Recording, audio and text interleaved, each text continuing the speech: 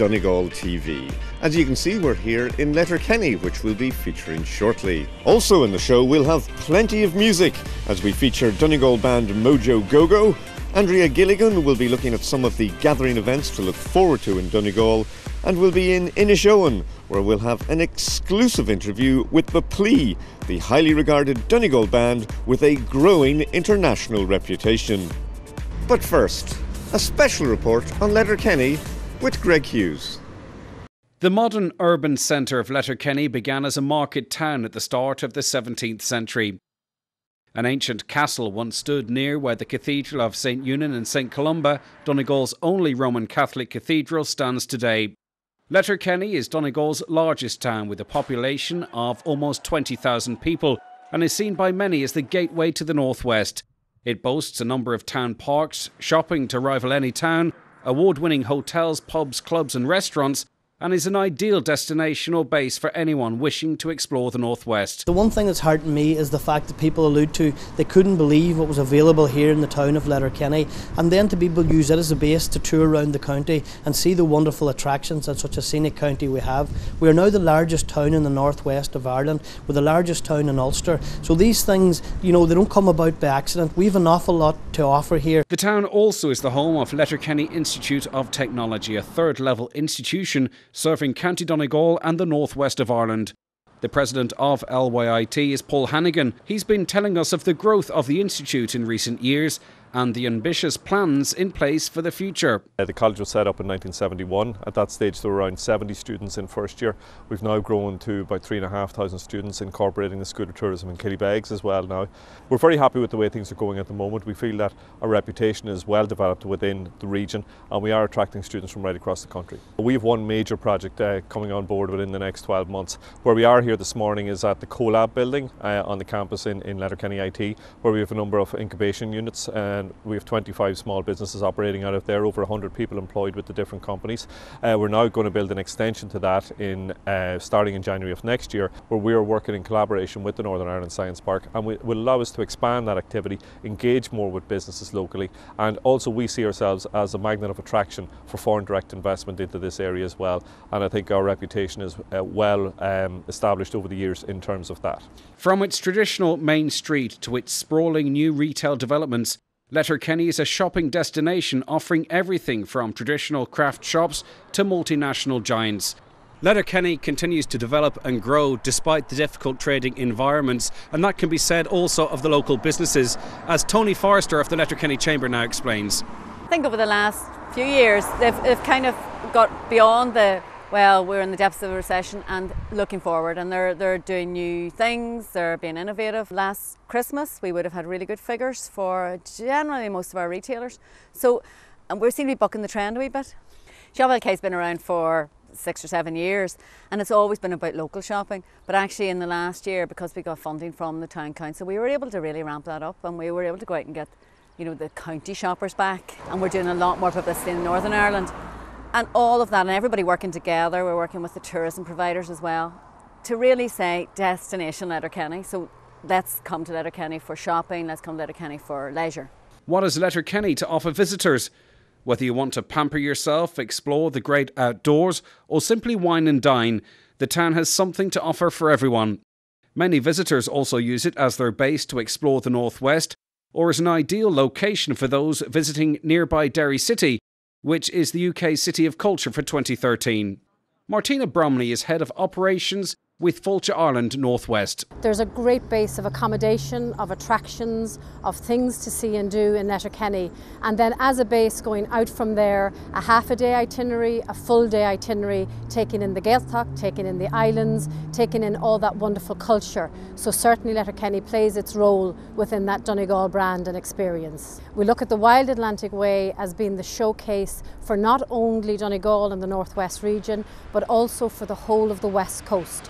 So the trail itself is a driving route. It starts from Mizen right up to Malin Head. So really we're very, very fortunate in Donegal. You look at it from Letterkenny's perspective, we're going to have three iconic attractions that really feed into the Wild Atlantic Way. So Fanad Head, Malin Head, Slieve League. So three of those wonderful iconic attractions. And the whole purpose of the Wild Atlantic Way is to make people stay in the region and dwell a lot longer than they normally would. From Letterkenny's perspective, as a central hub of tourism, it couldn't be better. It's going to really reap the rewards and the benefits of that particular project. So that's Letterkenny, the hub and the heart of the Northwest. A thriving town to learn, do business, or the perfect spot for a relaxing break. Greg Hughes there with that report from Letterkenny. I'm at Greenanavallia near Burt, one of Donegal's best known landmarks. Later this year, Féile Greenanavallia will be staged here as part of the Donegal Gathering. Andrea Gilligan looks at some of the highlights to come. Ireland has a thriving festival and events industry with over 400,000 overseas visitors travelling to Ireland to attend festivals during 2012. There are over 160 events taking place here in County Donegal this year. Some of them may be new, many of them will be familiar, but all of them include something very special.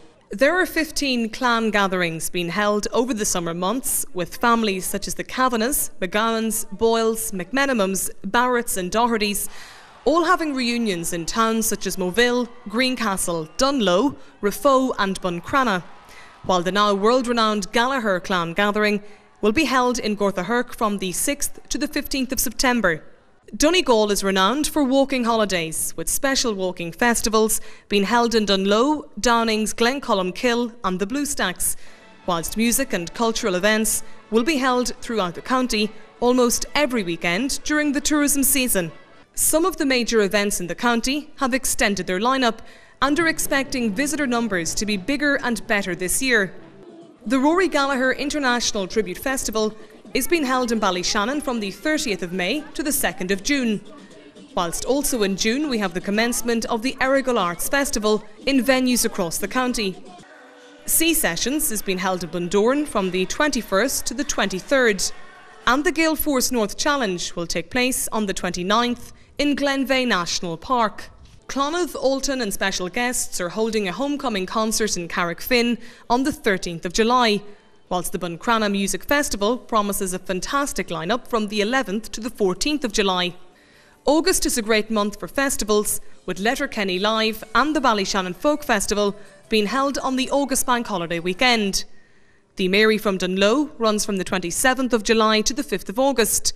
The Clonmany Festival is on from the 4th to the 11th, and always a highlight is the Donegal Heritage Week, which has been held county-wide from the 17th to the 25th of August. We're here in Donegal town overlooking the venue of the internationally renowned A Taste of Donegal Food Festival, which last year attracted over 30,000 visitors.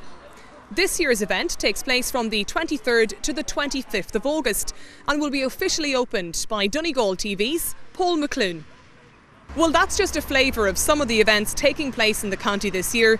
We do hope you enjoy them, and of course, more details can be obtained from the website www.donegalgathering.com. Uh, the gathering is a, a credible national proposition uh, to bring people back to Ireland during 2013 for a whole series of events from all over the world. So, whether it be a family for a weekend, or families for a reunion or a birthday party, or companies doing their annual general meetings in Ireland, or coming for sporting occasions, or just, as we say in Ireland, for the crack, this is a brilliant opportunity for our Irish diaspora and others to become a part of the gathering. It's a unique proposition and I think it's going to be exceptionally successful.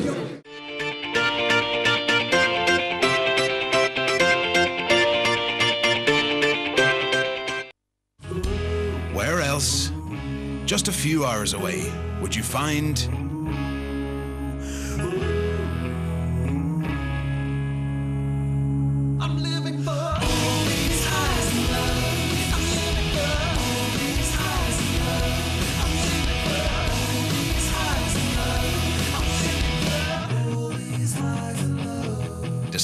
discoverireland.ie forward slash Donegal. Right here, right now. CoLab, turning knowledge into enterprise. Home to your new business idea.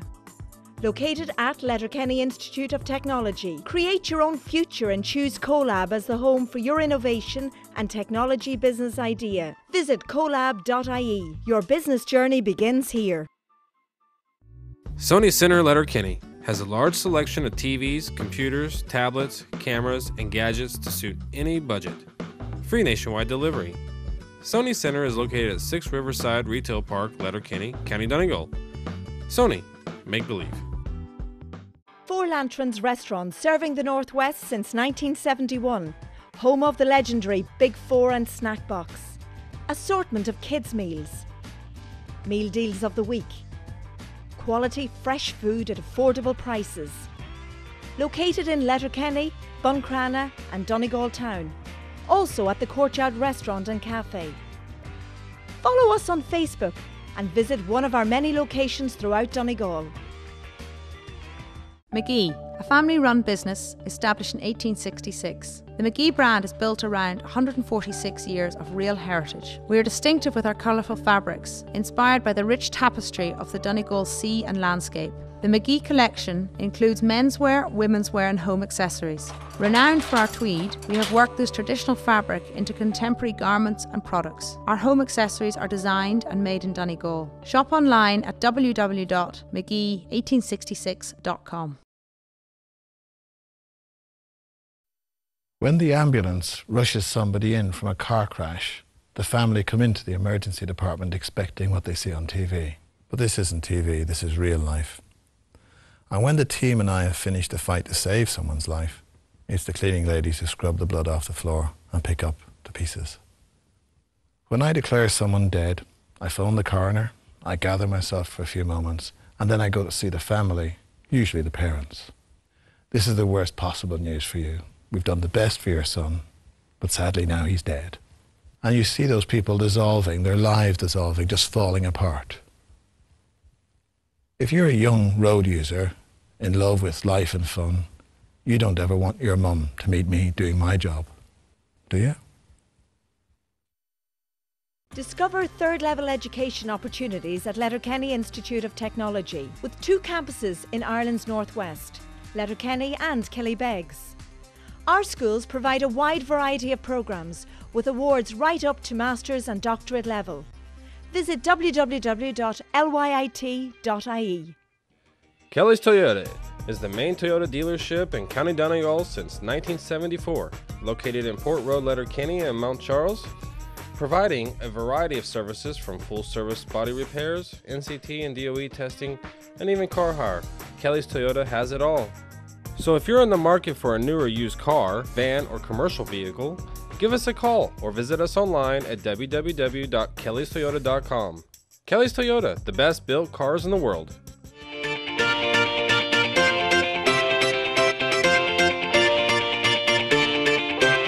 This year is certainly an exciting one for young Donegal band Mojo Go-Go. Their distinctive brand of music and energetic performances are attracting a growing and enthusiastic following. They took time out of their busy schedule to speak with Andrea Gilligan. Hi, we're Mojo Go-Go and you're watching Donegal TV.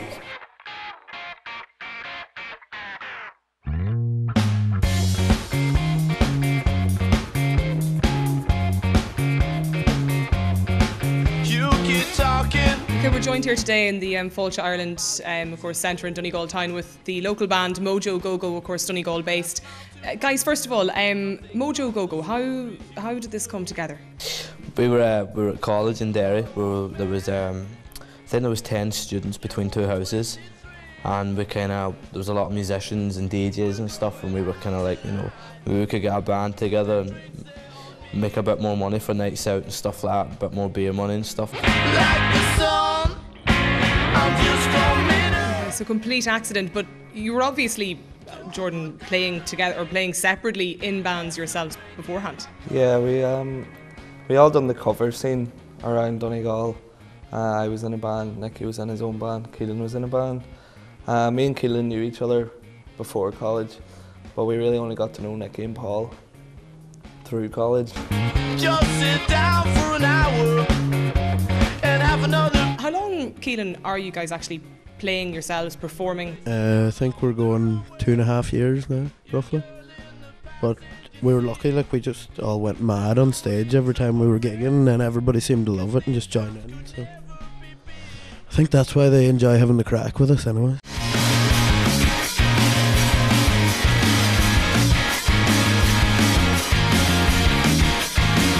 You know, the energy's good, and it was like, all right. And then if you look at it now, like it's just from start to finish. You know, it's just songs were getting heavier and stuff as well. Like, What is so- it? Somebody says it's like it's like cutting open a bag of monkeys. Is it much more difficult to play in your hometown? I find there's always that wee bit of pressure though because if you have been away and people's been seeing the likes of through the social networking and stuff, oh they've been doing this and they've been doing that, and then when you're at, when that does come to doing that one gig a year or something back and forth with people's like, right, well let's let's see what the big deal is like, you know. So you, there is that you can't slack off, you can't say, oh it's a local gig, let's just up be grand, you know. You have to put on nearly a better show than you do anywhere else.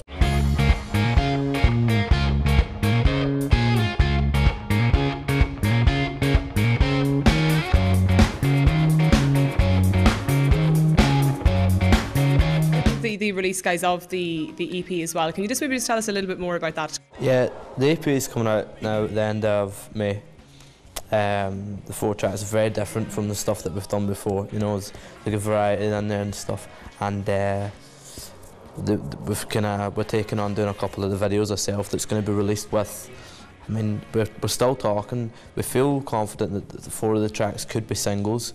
We said, right, we'll put two out. Maybe we'll put three, maybe four. So we're going to have, the, I mean, the first one will be out at the end of May. That's going to be called Build It Up. And uh, I mean, it'll be a couple of weeks after that there, then the second one will be out and stuff.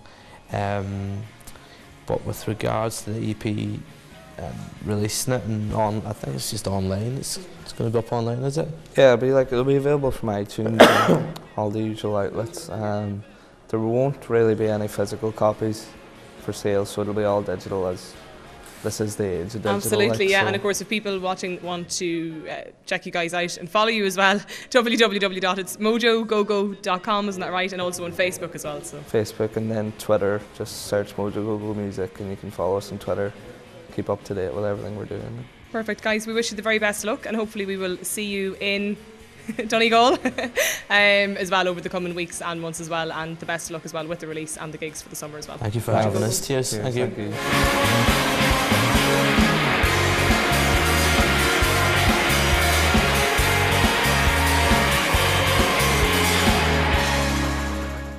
We're here in Ballyliffin, the home of Donegal band The Plea, who have been receiving rave reviews recently. This is a big year for the band, with tour dates in the UK and throughout Europe. Keith Fletcher has been interviewing the band for Donegal TV.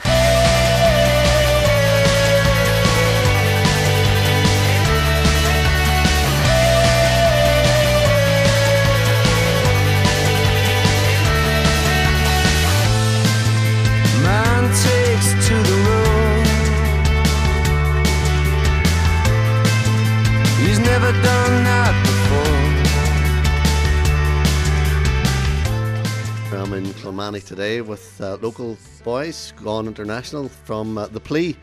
We've got uh, Denny and Dermot Doherty. Very welcome along, boys. Cheers, Keith. So you're just back from England, a tour of England? Um, that was a small tour. We just did uh, Manchester, Leeds, uh, London, Huddersfield, and Bath. It. And you're back here now for, this is a wee break now? Then you, you're, you said you're doing, you're gigging in Ireland now? Uh, with three gigs, um, we do uh, Belfast, um, Empire in Belfast, uh, Whelan's in Dublin, and uh, Donegal gig in uh, Voodoo in Letterkenny. Um, after that, we head for Germany. Then. You're based, although you're from Ballyliffin, um, you're based in London, you're based in France. How do you get from A to B there? Well, we're, we're, most of the time we're in London. You know, he just lives in France, but it's like uh, it's just easy. Just get the, the channel, to, you know, get the train over or whatever. But most most of the stuff we do is based from London, so we're re- sort of recording there at the minute as well. Um, and you know, last year a lot of the stuff we were doing was out in Belgium and Germany and places like that. So it was handier for him to be there anyway. You know. But the band's generally together in London, you know, most of the time. And it's the second album you're recording now. Aye, we're just starting demoing for the second album now. And how did the first album? How was it received? Well, we still like this album's still out, so we just that's the first time it goes out now in Germany. So Right. that's where the, we've got a single out called uh, Glass Waltz. So we're just going on tour now to promote that.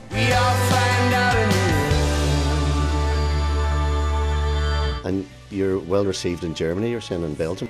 Well, we released a single out there now, and it's it's starting to take off well out there, which is great. That's why we're going to do these dates with ten dates coming up there. So, yeah, but we, we played there before with Snow Patrol. We supported Snow Patrol over there, and uh, the crowd they, they listen. You know, sometimes when you're an opening act for another band, people don't come in. They won't come in to watch the opening act. But Germany, they, they they go in. You know, they're mad interested in this stuff. You know, and they really listen to everything. You know, so it's kind of a joy to play to them. You know. Who writes the? Who does all the, the writing?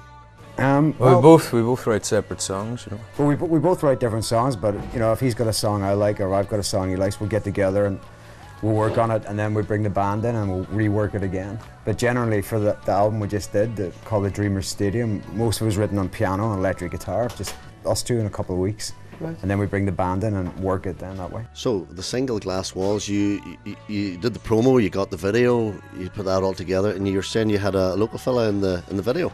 Uh, was a friend of ours, Michael McLaughlin, uh, down in Ballyliffin. Um, we needed an actor for the video.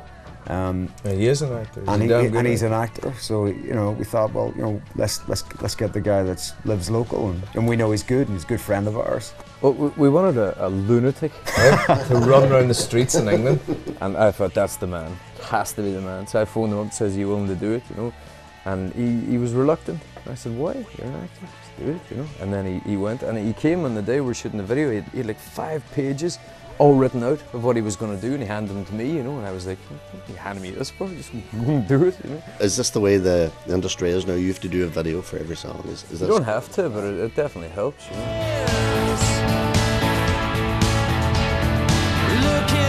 Just going back to the gigs, uh, you said you started playing in the of and then you worked from there up.